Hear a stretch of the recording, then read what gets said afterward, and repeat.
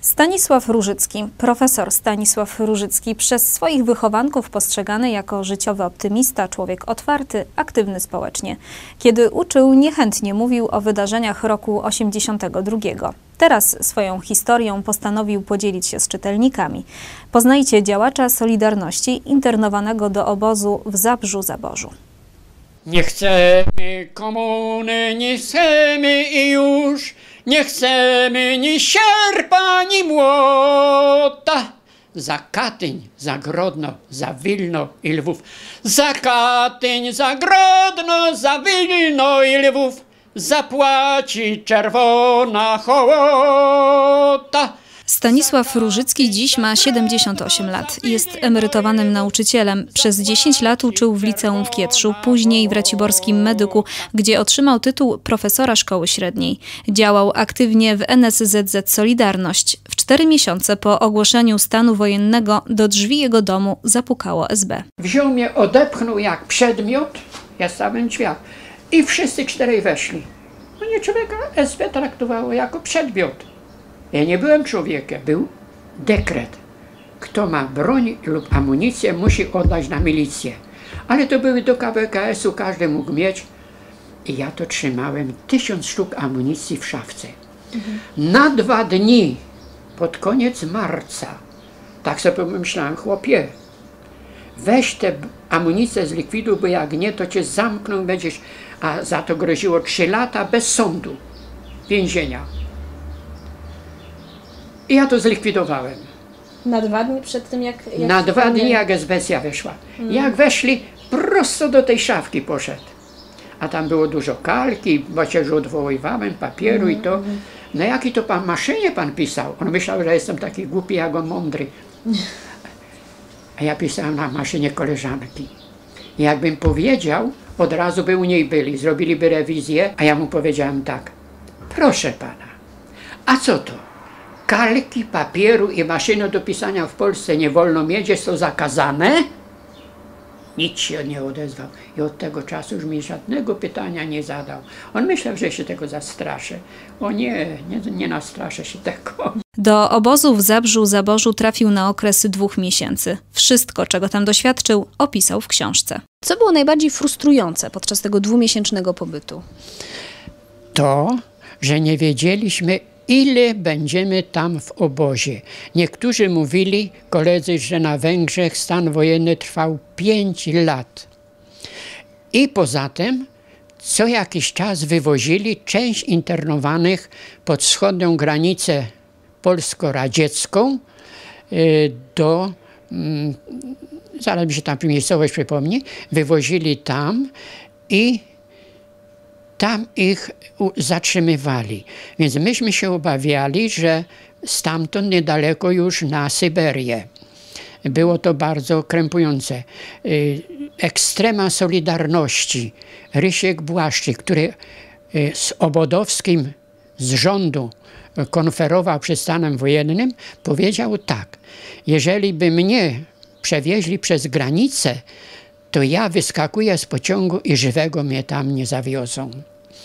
Więc to nas stresowało. Poza tym rozłąka z rodzinami. Poza tym nie mieliśmy wyroku. Skazani przeżywali to inaczej. A my bez wyroku nie wiedzieliśmy, jak długo będziemy w obozie, jak długo będziemy w rozłące. Nie wolno nam się było z dziećmi widzieć. Jaki był powód internowania? E, powód internowania? No więc powód internowania był taki, że ten donos dyrektora do władz, do komisarza wojskowego. I wcześniej, a, wcześniej wzywali mnie jeszcze do Urzędu Miejskiego na rozmowę komisarz, sekretarz y, y, PZPR od spraw oświaty y, z powiatowego komitetu był i trzeci inspektor Jończy, trójka. I oni z nami przeprowadzali rozmowy pojedynczo. I tam mi zadał pytanie mm, e, komisarz, że Wałęsa występował w Radomiu, jaki jest mój stosunek do jego wypowiedzi. On tam coś krytykował władzę. Ja mówię, gazety nie czytałem, nie byłem tam, nie wiem. Ale była taśma nagrana. Ja mówię, zdawałem sobie sprawę, że e, wije bić na siebie. A ja im powiedziałem tak, panie komisarzu, taśmę można zmanipulować. Więcej ze mną nie rozmawiał. Za dwa dni przyszedł sam kołsud pułkownik i, i, i internowali mnie za dwa dni. Y, groziło panu, że nie będzie mógł pan być już nauczycielem.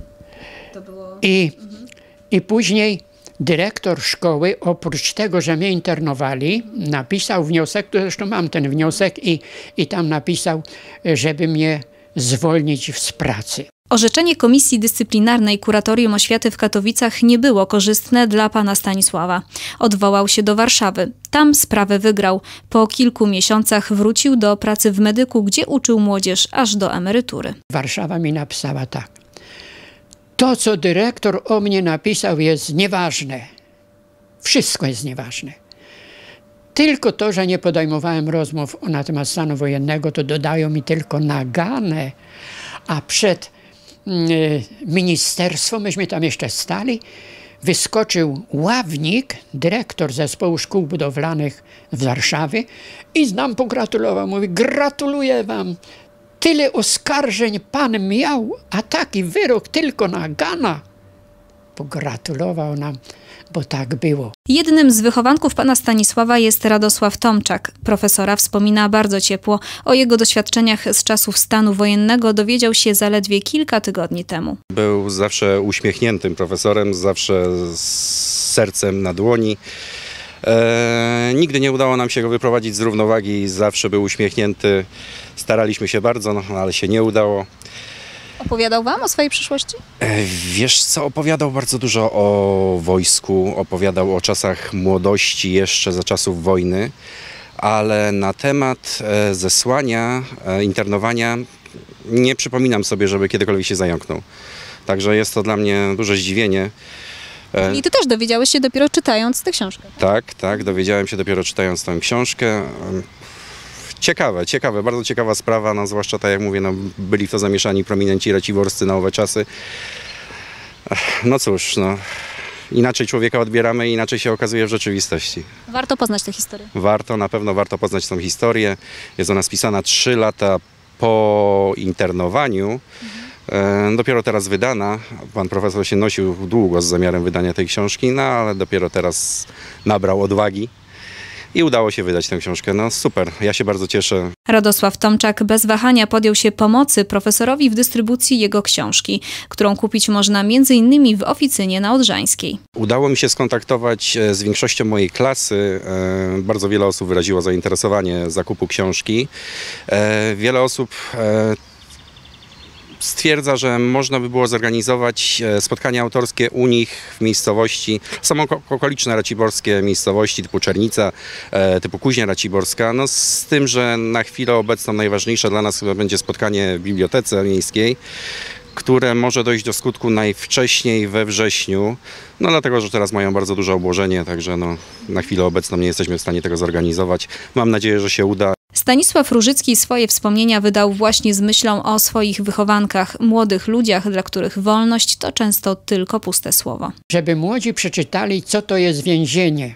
Co to jest więzienie, co to znaczy znaleźć się za kratą więzienną, jak psychicznie tam się przeżywa. Że to nie jest tak, że się dostanie jeść i śpi, siedzi, patrzy się, że siedzi się na taborecie i patrzy się na brudne ściany i sufit. Nie, to nie jest tak. Więzienie. Ja mogłem tam napisać i napisałem, ale dzisiaj wiem, Oto wolność. Ja walczyłem o wolność. Wolałbym żyć na wolności, tak jak teraz jestem, jeść chleb postny bez niczego i popijać wodą i być na wolności. Taka jest wolność. Szkoda, że tego nie napisałem. To mi przyszło później już. Wolność jest czymś, czego się nie da mierzyć. To jest coś nieokreślone. Ja mogę stracić majątek, ja mogę stracić przyjaciół, ja mogę stracić to, ale jak ja jestem wolny, to ja mogę sobie wyjść do przyrody, ja mogę się pospacerować, ja mogę iść tam, ja czuję się wolny. Za walkę o wolność i solidarność Stanisław Różycki odznaczony został przez IPN w Katowicach Krzyżem Wolności i Solidarności. Odznaczony jest również Krzyżem Kawalerskim Orderu Odrodzenia Polski oraz Medalem Komisji Edukacji Narodowej. Ma pan dzisiaj poczucie krzywdy? E, To znaczy tak, ja po powrocie z obozu, ponieważ jestem wierzącym człowiekiem, wszystkim przebaczyłem. Tak jakby się nie stało. Nie mam poczucia krzywdy. Nie mam. Wiem, że cierpieć trzeba. I proszę sobie wyobrazić, kto mnie przeprosił. Piątka mi zaszkodziła, oczywiście dyrektor najbardziej. To tylko Jończy mnie przeprosił, a cała czwórka nie.